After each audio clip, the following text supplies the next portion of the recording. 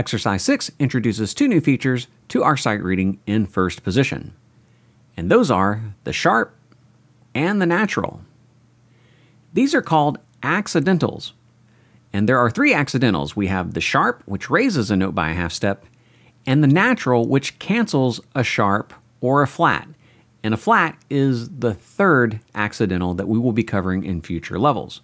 But for right now, I want you to remember that a sharp raises a note by a half step, and a natural cancels a sharp or a flat.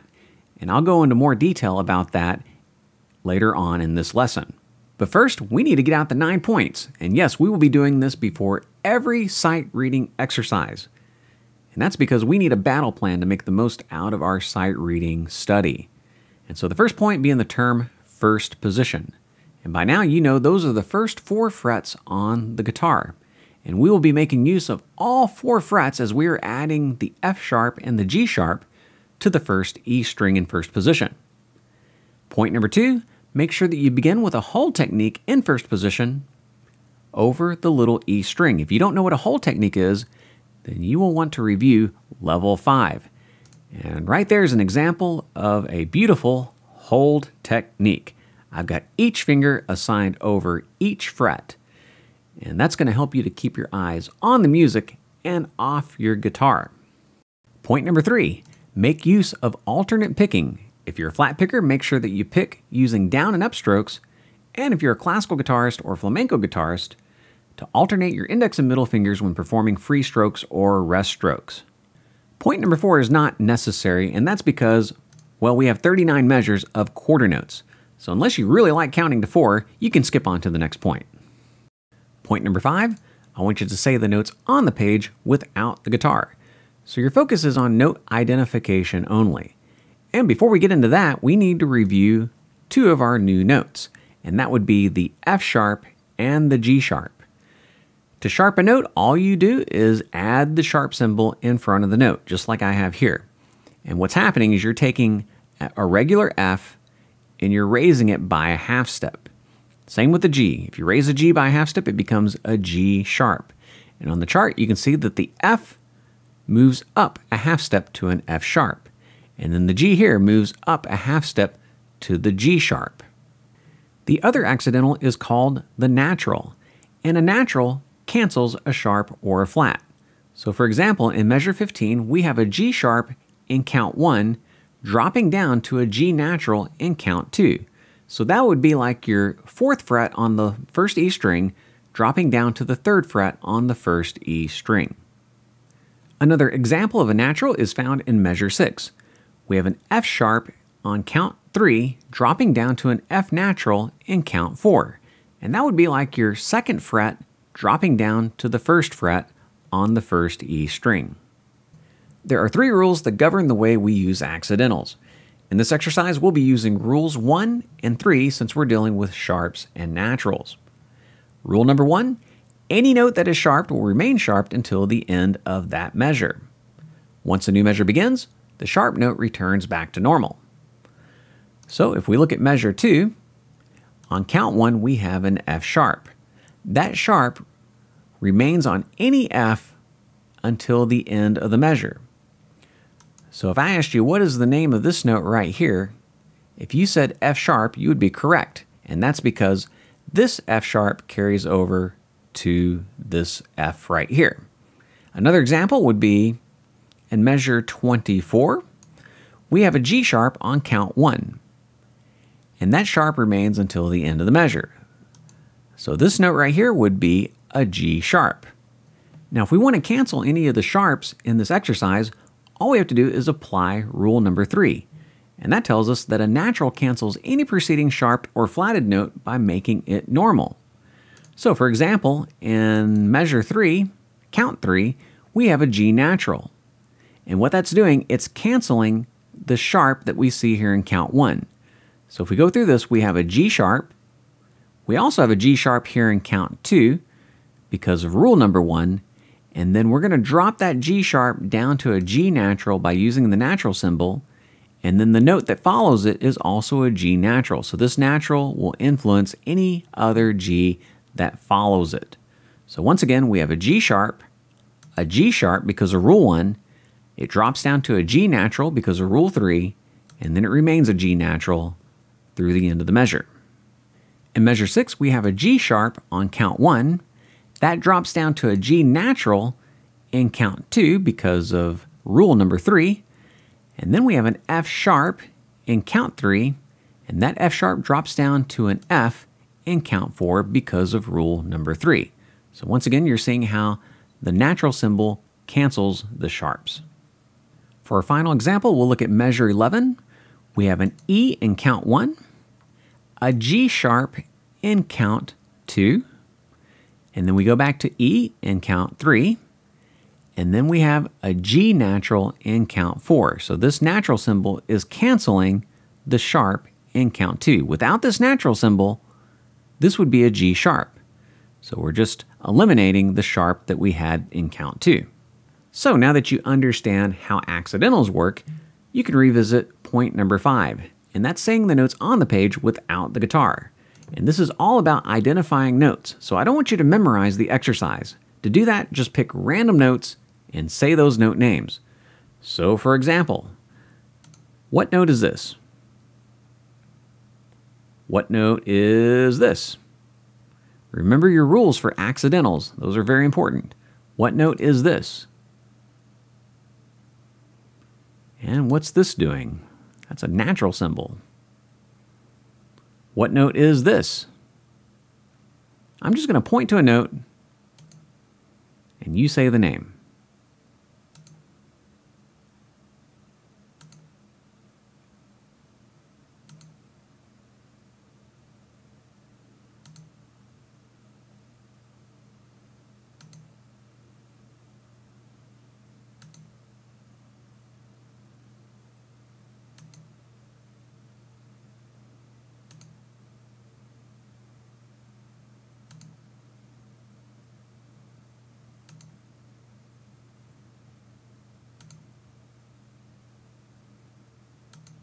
What note is this? If you said F sharp, that's correct because it's influenced by the sharp in count one. Remember that sharp carries on all the way through. What note is this? And if you said G natural, you would be correct. It's canceling the sharp in count two. What note is this? And if you said F natural or just a regular F, you would be correct. That natural cancels the sharp in count three. Point number six, I want you to say the notes on the page in rhythm without the guitar. So you will set your metronome for a tempo slow enough so that you can look ahead and articulate the notes clearly, and you will tap your pencil to counts one, two, three, and four as you say the note names in rhythm. Now, the good news is we only have quarter notes, so um, this will give you an opportunity to work on your note identification. So I'm going to go through these with you from measures 1 through 8, and then you can do the rest on your own. If I'm going too fast for you, you can always slow me down on the media player, but ultimately you want to be able to get out your own metronome and set it for a tempo slow enough so that you can read accurately. 40 beats per minute, I'll give a four count, and we'll begin.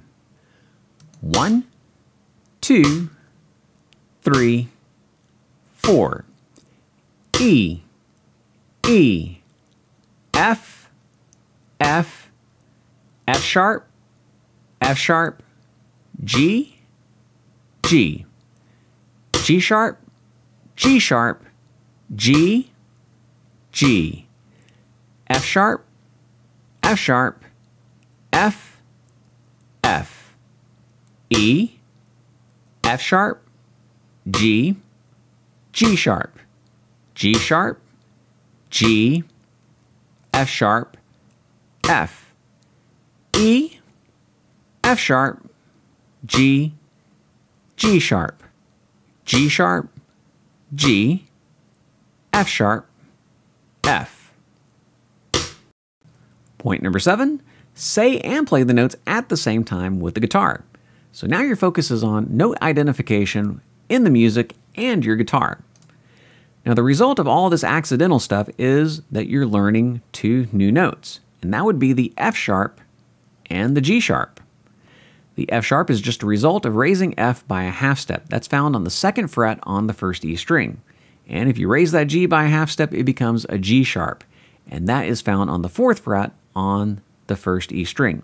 We're going to use our second finger to play the F sharp and our fourth finger to play. To get these notes into your memory, I want you to focus on random note selection. So all you're doing is you're just picking a random note on the page, you're saying the note name, and then playing it on your guitar. And the idea is that you're not memorizing the exercise. You're focused on pure note reading. And you can go at your own pace. And once you feel like you're getting a good rhythm at doing this, then you can set the metronome at a slow tempo. Slow enough so that you can, one, articulate the notes clearly, and two, so that you can look ahead.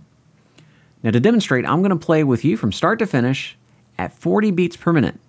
Now, if that's too fast, you can always slow me down on the media player. So I'm playing the notes in rhythm while identifying them with my voice. I'll give a four count and we'll begin. One, two, three, four. E, E, F, F, F sharp, F sharp, G, G, G sharp, G sharp, G, G, F sharp,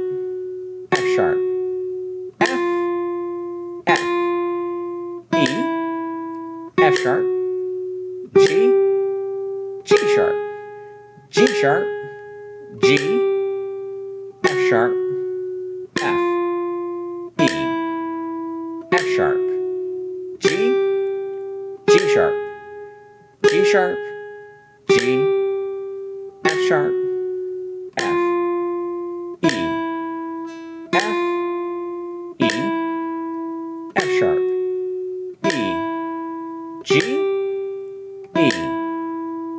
sharp, E, G sharp, E, G, E, F sharp, E, F, E, F, F sharp, F, F sharp, G, F sharp, G, G sharp, G, F sharp, G, F sharp, F, F sharp, F, E, G sharp, G, G sharp, E, G, F sharp, G, E, F sharp, F, F sharp,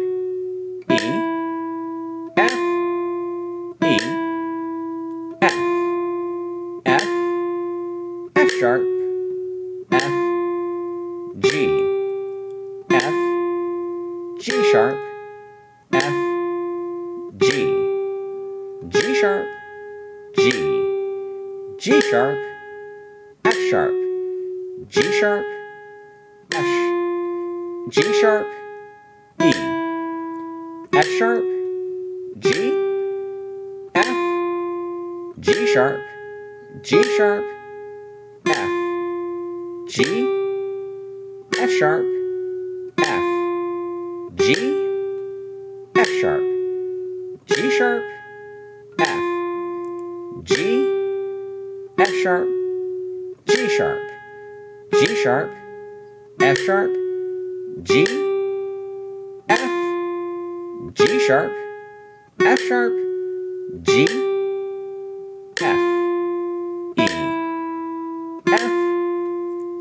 sharp, G, F, F sharp, G, G sharp, F sharp, G, G sharp, G, G, G sharp, G, F sharp, G sharp, G, F sharp, F, G, F sharp, F sharp, F, E, F, F, E, F, F sharp, F, F sharp, G, G sharp. Point number eight, I want you to count and play the notes at the same time. So your focus is on the count while playing the guitar.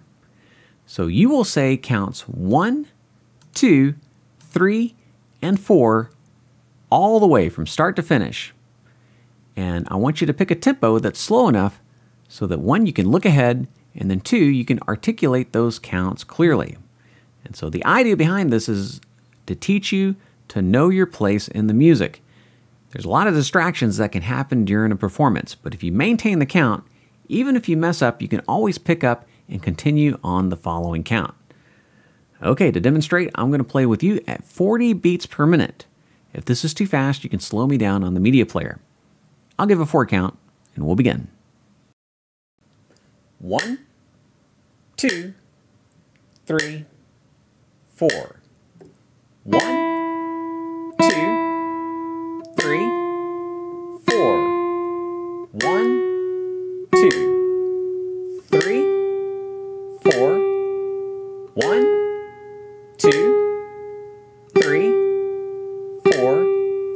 One,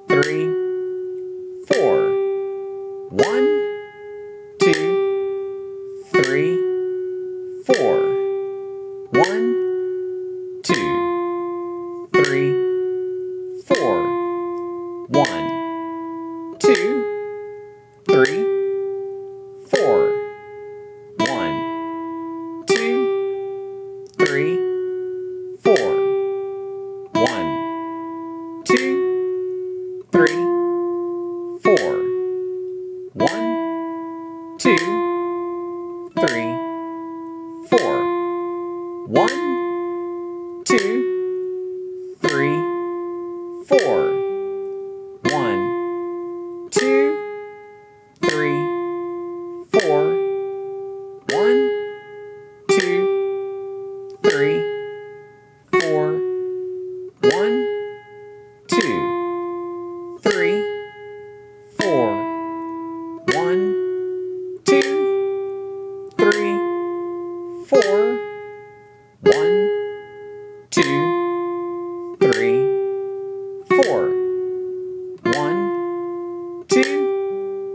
Three.